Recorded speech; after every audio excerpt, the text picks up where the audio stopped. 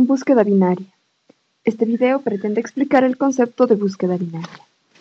¿Qué es la búsqueda binaria? La búsqueda binaria es un tipo de búsqueda que está basado en el paradigma divide y vencerás, el divide and conquer. Es decir, teniendo un gran número de elementos en el cual buscar uno X especificado, lo que podemos hacer es descomponer este gran problema en problemas más pequeños y buscar el elemento en una situación mucho más favorable. ¿Cómo aplicar esto para la búsqueda binaria? Es lo que vamos a ver en este video. Para desarrollar la búsqueda binaria es requerido cumplir con dos condiciones. La primera de las condiciones es que el vector o conjunto de elementos en el cual se va a buscar un elemento X debe estar ordenado. Y la segunda condición, que también es muy importante, es conocer el número de elementos que conforman el conjunto. Con estas dos condiciones es posible desarrollar la búsqueda binaria. Pero ¿cómo se ejecuta la búsqueda binaria? En efecto, verifiquemos el ejemplo que tenemos acá. Es un conjunto de números que están representados a través de un vector. Si nos fijamos, son números ordenados con un orden ascendente. Además, podemos fijarnos que tenemos nueve elementos. De esta manera estamos cumpliendo con las condiciones de la búsqueda binaria. Luego lo que hace la búsqueda binaria es dividir sucesivamente en mitades y fijarse siempre en el centro del arreglo que queda, para verificar si es igual al número que se busca. Imaginemos que estamos buscando el número 30. Lo que hacemos es dividir a este arreglo. Es decir, si tengo 9 elementos, lo divido por la mitad y tengo 4,5. Tomo el entero que es 4 y me ubico en esta posición, en la posición 4 del vector. En la posición 4 reside el 8. Lo que hago es comparar. 30 es igual a 8, no.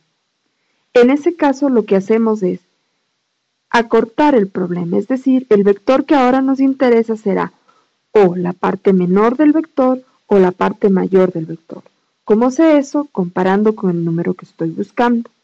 ¿Es el 30 menor al 8? No. ¿Es el 30 mayor al 8? Sí. Por lo tanto, el vector que continuamos buscando será este de aquí. Este vector tiene 5 elementos.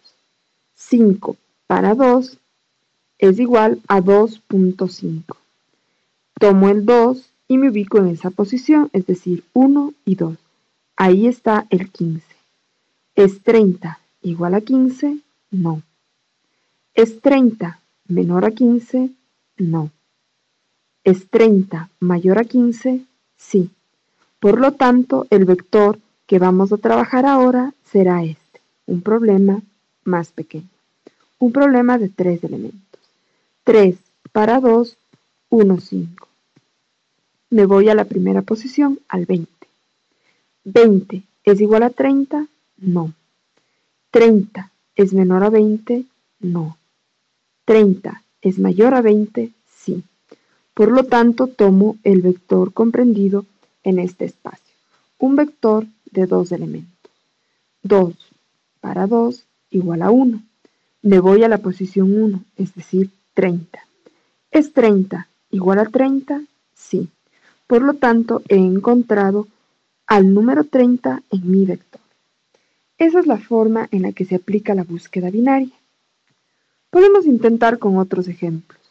Fíjense, el vector de acá es un vector que tiene un conjunto de números ordenados y además conocemos que tenemos 8 elementos. Por lo tanto, podríamos aplicar aquí también la búsqueda binaria. ¿Qué ocurriría si quiero encontrar un número que no está en el vector?